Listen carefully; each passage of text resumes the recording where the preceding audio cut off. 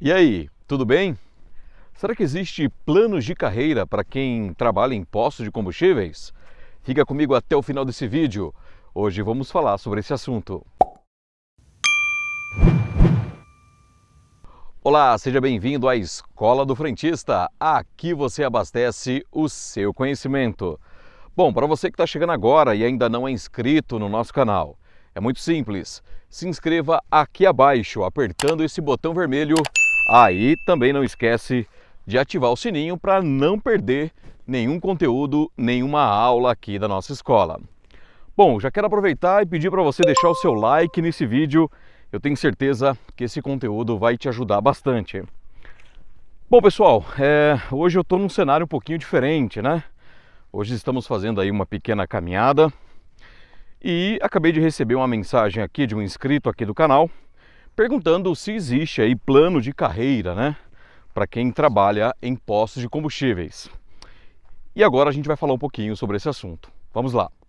Pessoal, quando a gente pensa em posto de combustível, é, a imagem que vem na nossa cabeça é do frentista. Mas saiba que você pode sim ter um crescimento profissional aí dentro desse segmento, dentro de um posto de combustível. Eu não sei se você me acompanha há muito tempo aqui no canal, mas eu já contei a minha história aqui para você. Mas se você ainda não conhece a minha história, eu vou contar um pouquinho para você. Pessoal, eu estou nesse segmento já faz 18 anos. Esse ano eu faço 18 anos aí trabalhando nesse segmento.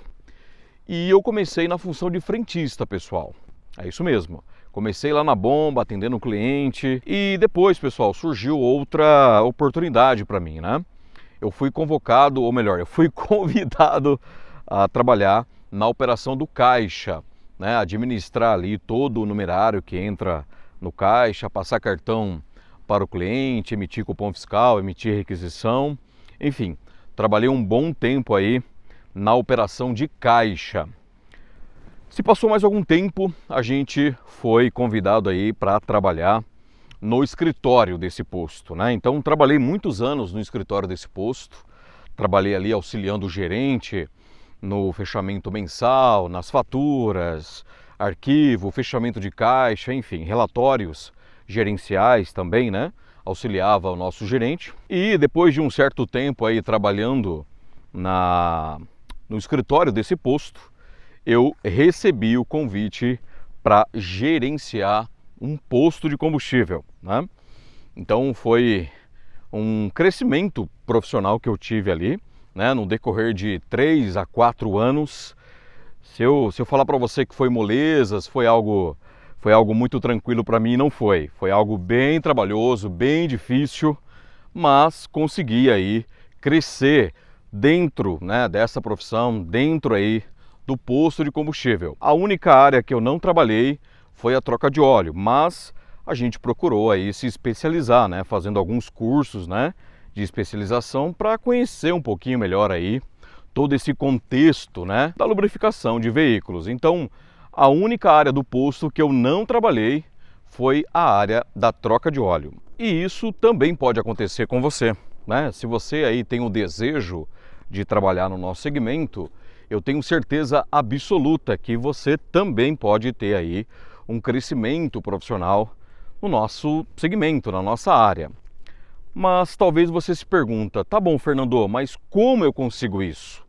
Realmente é, existe aí um plano de carreira dentro dos postos de combustíveis? Pessoal, oportunidade é o que não vai faltar para você. Os postos são carentes de bons profissionais.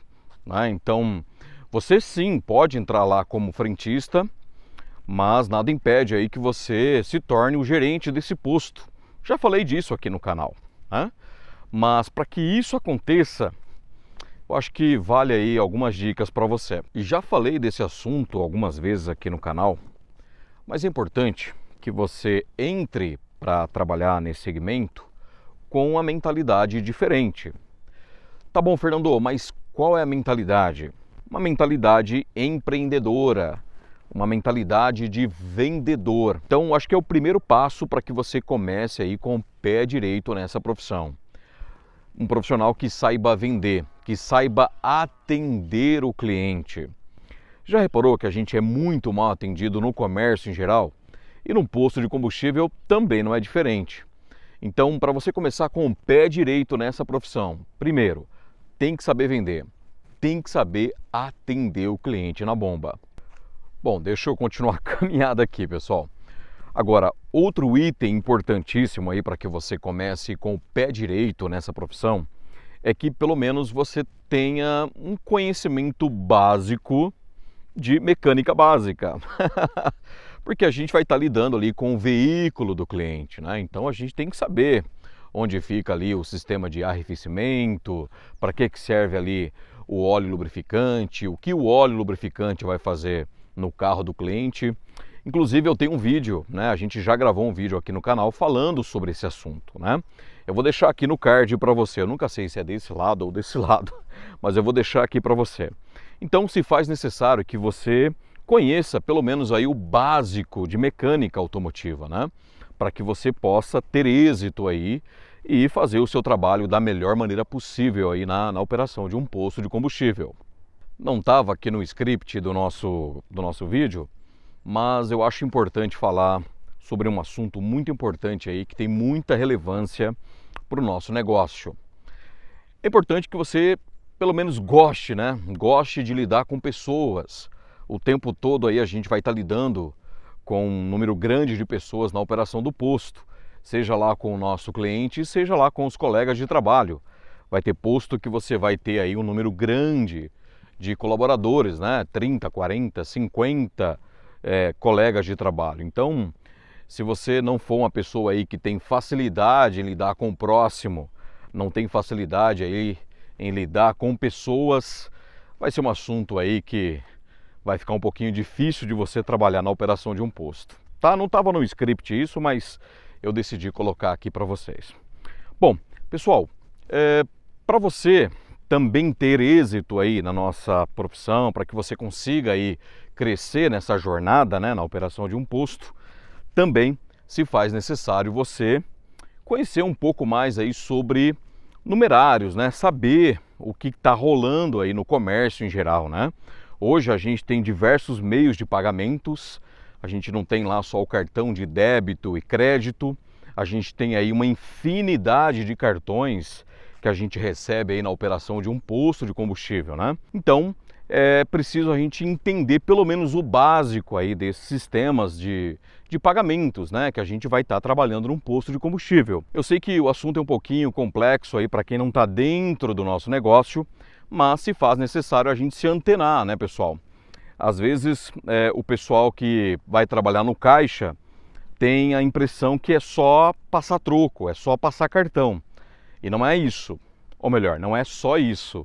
Tem outros fatores aí para que a gente consiga se dar bem aí na operação do caixa, né? Agora tem um outro item que eu acho fundamental para que você tenha sucesso aí na, na operação de um caixa, né? Para você fazer aí uma boa operação de caixa. Vamos lá. Bom, para que você tenha bastante êxito, bastante sucesso aí na operação de caixa, se faz necessário que você é, saiba lidar com pessoas, né? Porque você vai estar tá ali gerenciando pessoas, né? É, às vezes você pode estar tá tomando conta de um time de frentistas, porque na verdade o caixa em muitas operações é aquela pessoa que coordena o trabalho junto com os frentistas, é aquela pessoa que auxilia o gerente na operação do posto. Então, se faz necessário aí você ter um bom relacionamento, né? Saber gerir pessoas, saber lidar com conflitos, né? Então, mais um assunto que a gente precisa se antenar para que a gente consiga aí ter êxito, né? Ter sucesso aí na operação de um posto de combustível. Agora, só falando um pouquinho sobre a operação do caixa, né? se faz necessário a gente ser um profissional organizado. Né? Não adianta a gente trabalhar aí é, na operação do caixa com os comprovantes todos desorganizados. Né? Eu preciso ter uma boa organização no meu caixa, ter uma boa organização ali das requisições, é, dos comprovantes de cartões, enfim, né? Porque senão a gente vai ter bastante dificuldade ali, né, para entregar o caixa na, na administração do posto, ou até mesmo o nosso caixa possa, possa sofrer algumas faltas, né? E isso não é legal, isso certamente vai causar um prejuízo aí para o nosso trabalho, tá? Então, para que você tenha sucesso aí na operação do caixa, se faz necessário você ter bastante organização aí na sua operação. E também se faz necessário aí a gente ter uma boa comunicação, porque a gente vai precisar se comunicar com o nosso colega de trabalho, com o cliente, com o nosso gerente, com o nosso gestor. Então, se eu não tenho aí uma boa comunicação, se eu não comunico ali com meu par, se eu não falo com ele sobre os abastecimentos que estão caindo na minha tela, certamente eu vou ter aí bastante dificuldade na operação do caixa. Então, para trabalhar no caixa, tem que ter uma boa gestão de pessoas, tem que ter uma boa organização e também uma boa comunicação com o nosso colega de, de trabalho. E para que a gente possa ter sucesso, pessoal, como gestor, eu acho que, é claro, a gente pode elencar aqui vários fatores, várias habilidades, várias é, é competências né, que a gente precisa ter para ser um bom gestor, não só num posto de combustível, mas em qualquer empresa, em qualquer área. Mas eu acredito muito que em um posto de combustível, para que você tenha sucesso aí como gestor, e eu creio que isso pode, pode acontecer com você, é importante que você dê o exemplo, né? Lidere a operação do posto, por exemplo, né? mostre resultados junto com o seu profissional de pista. O seu profissional de pista, ele tem que olhar para você e se inspirar em você entende? Então, acima de tudo, né, para a gente é, resumir esse assunto, você tem que ser um bom gestor de pessoas. Essa é a palavra. Um bom gestor de pessoas para que você consiga aí ter ótimos resultados. Porque na verdade, o resultado não vem da força do seu braço, e sim da força do pessoal que está lá na pista de abastecimento. Então, gestão de pessoas é a chave para você ter bastante sucesso como, como gerente de posto ou gerente de pista. Então, pessoal, existe grandes oportunidades profissionais dentro de um posto de combustível. Você pode entrar lá como frentista, mas nada impede que você venha trabalhar no caixa, nada impede que você venha trabalhar na troca de óleo. De repente, você pode receber um convite para trabalhar no escritório desse posto. Por que não? E eu estou aqui na torcida para que você consiga virar o gestor, o gerente desse posto. Estou na torcida por você, viu? É claro, pessoal, que isso não vai acontecer da noite para o dia. Isso leva um tempo, né? Para que você consiga aí ter bastante êxito e tenha um crescimento aí dentro aí da, da revenda de combustíveis, né? Mas se você focar no teu objetivo, é perfeitamente possível que você cresça aí dentro do nosso negócio é, como eu disse, leva tempo, não é da noite para o dia que você vai conseguir aí é, crescer dentro aí de um posto de combustível. Mas eu tenho certeza que você entrando como frentista, você se desenvolvendo, você pode trabalhar lá na troca de óleo, depois você pode trabalhar no caixa como auxiliar de escritório, e eu tenho certeza que logo logo você estará na gestão, na gestão deste posto ou na gestão da rede de postos, né? Eu não sei se você sabe, mas grande parte dos postos, ou melhor, grande parte aí dos revendedores não tem apenas um posto, geralmente é uma rede de postos, né? Com 5, 6, 10, 20, 30 postos espalhado aí na sua operação. Quem sabe? Quem sabe você não vai ser o futuro gestor aí dessa rede onde você está trabalhando. Eu estou aqui torcendo por você, sempre na torcida pelo seu crescimento profissional. E é isso aí, pessoal. Se você gostou desse vídeo, você já sabe, né? Deixa aqui o seu like pra gente. O seu like ele é muito importante para que a gente consiga levar esse conteúdo aí para mais pessoas e abastecer o conhecimento aí de todo mundo que acompanha o nosso canal, tá certo? Bom, se você ficou com alguma dúvida, se você quer fazer algum comentário sobre o conteúdo que a gente apresentou aqui nesse vídeo, fique à vontade, deixa aqui abaixo o seu comentário, a gente vai responder você o mais rápido possível, combinado? É isso pessoal, vou ficando por aqui, mas a gente se vê no próximo vídeo. Valeu pessoal! E eu vou aproveitar aqui para continuar a minha caminhada, vamos lá! Valeu pessoal, um abraço!